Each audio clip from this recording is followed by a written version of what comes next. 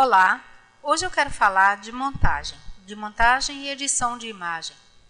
É, essa imagem que eu trouxe para vocês, eu trouxe especialmente para falar sobre a ideia que passa através de uma imagem que é feita para publicidade.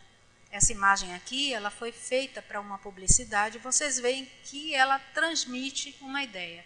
É muito importante para o profissional que vai editar que ele não faça um serviço apenas técnico, mas que ele se lembre de passar uma ideia por trás da imagem que ele está editando, porque os nossos olhos eles procuram por um padrão que o nosso cérebro conhece. E aí a gente procura uma harmonia através da visão dessa imagem. A gente, o cérebro procura uma harmonia, é, seja ela através de cor ou de profundidade então é importante que isso seja feito, é importante que um bom profissional ele se preocupe com isso, não somente com a parte técnica, mas também com a parte de passar uma ideia. E aí vamos ver como é que isso é feito? Muito bem. Para fazer essa imagem, para compor essa imagem aqui que vocês estão vendo, eu utilizei essas quatro imagens aqui. Uma de vidro quebrado, uma de fogo, uma de um laptop que eu encontrei na internet mesmo, e essa daqui do míssil, ou seja, do foguete, para fazer isso, ok? Bem, vamos lá. É, eu vou abrir aqui o Photoshop CS5, que é a ferramenta com a qual eu trabalho, e vou abrir aquelas quatro imagens que nós vimos lá. O efeito vidro quebrado, o efeito fogo, é, o foguete e o laptop que eu encontrei na internet também. Okay? Então, para começar, eu vou abrir um arquivo, porque eu quero conservar essas imagens lá, eu vou abrir um arquivo novo para mim. Mas eu quero fazer isso num arquivo deste tamanho. Então, eu vou selecionar essa imagem, vou copiar ela através do Ctrl C e vou aqui abrir uma nova imagem. Os presets dessa imagem já, já estão aqui, porque eu coloquei na área de transferência. Então, vou abrir e através do Ctrl V eu vou colar essa imagem e aqui eu tenho um artigo novo aqui, ó. Eu nem coloquei o nome ainda. Bem, agora eu já posso é, colocar as outras imagens, sobrepor as outras imagens, a fim de fazer uma composição naquela imagem lá eu vou passar o vidro quebrado para cá. Ok. Então, vocês veem que essa imagem do vidro quebrado aqui, ela é um pouco grande. Então, eu vou ter que diminuí-la a fim de que ela venha a caber aqui dentro, ó. E ela parecer que é o vidro do computador que está quebrado. Vou girar um pouquinho aqui. Aqui eu vou aplicar as modificações que eu fiz. E nessa imagem, para ela não ficar assim muito crua, eu vou colocar uma sombra.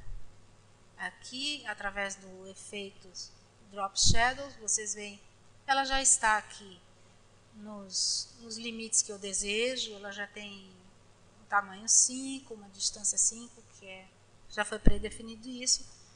E vocês podem ver aqui como é que ela fica com efeito ou sem efeito. Veja que já dá uma grande diferença e uma noção de realidade aqui, ok? Então, nosso próximo passo vai ser exatamente é, abrir as outras imagens, ok? Vamos sobrepor as outras imagens. Vocês vejam que essa imagem aqui de fogo, ela tem um fundo muito sólido. Mas eu vou ter que levá-la para lá. Eu seleciono com Ctrl A, copio com Ctrl C e vou novamente para lá e vou criar uma nova camada ali através do Ctrl V e a minha camada está assim. Bom, para que eu não trabalhe diretamente nessa imagem aqui, aqui dentro, eu vou abrir uma camada de máscara. Assim eu posso trabalhar aqui na camada de máscara em vez de modificar essa camada aqui. Bom, como eu vou trabalhar aqui na camada de máscara, eu vou pegar o meu pincel aqui, com a cor preta, e ele vai funcionar, olha, como uma borracha. Eu vou apagar aqui aquilo que eu não desejo, vou deixar apenas o fogo suficiente para eu colocar ali. Deixa eu colocar mais opacidade aqui. Ok. Vamos lá. Vou tirar isso aqui. E vou deixar ele é, com uma área bem pequena mesmo, porque ele vai ser exatamente o fundo da parte do fundo do foguete. Então eu quero que ele fique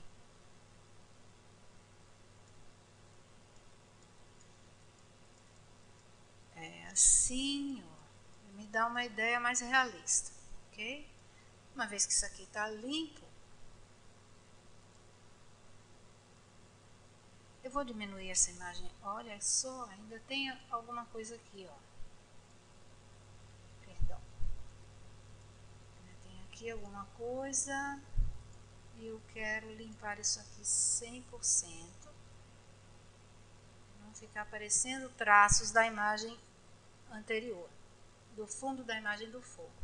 Então, eu vou diminuir aqui ó, a minha imagem, para ela caber mais ou menos aqui, porque ela vai fazer aquele papel da explosão do foguete. Vou deixar mais ou menos desse tamanho. E aqui eu vou fazer uma coisa interessante, é que o blending mode dessa imagem aqui, ele não vai ser normal. Ele vai ser é, no padrão linear burn. burn. É, ele aqui está aparecendo, tá vendo? Que o fogo está saindo pelas frestas aqui do vidro quebrado. Bom, uma vez que eu estou satisfeita com, com, com a minha imagem feita aqui, com a minha montagem, eu vou trazer o foguete para cá, tá? Quero trazer o foguete todo.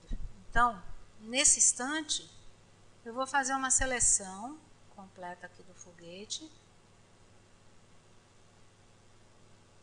Essa ferramenta de seleção do CS5 é muito boa. Inclusive, vocês podem refinar aqui, ó, essa seleção ajustar aqui os controles, deixar mais arredondado, deixar mais liso, é assim. Bom, aí vocês vão experimentando, tá? Para mim isso aqui tá bom, eu, é somente uma experiência. Eu vou colocar lá somente parte dessa imagem. Eu só vou copiar essa imagem que eu selecionei, ok? Então vou ver aqui e vou colar, vou colar o meu foguete aqui. Ele também está muito grande, eu vou precisar diminuir essa imagem aqui. E eu vou fazendo isso até a hora que eu acho que isso aqui está bom.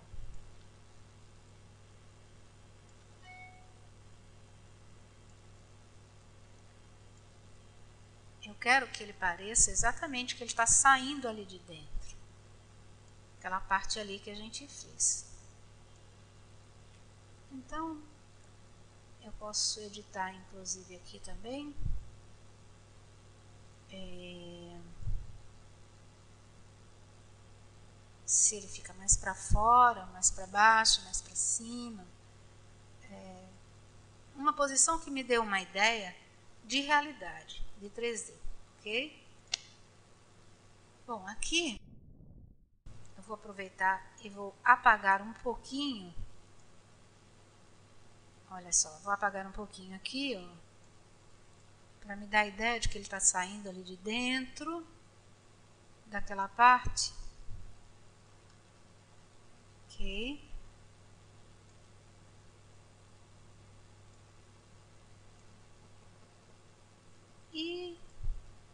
é isso então.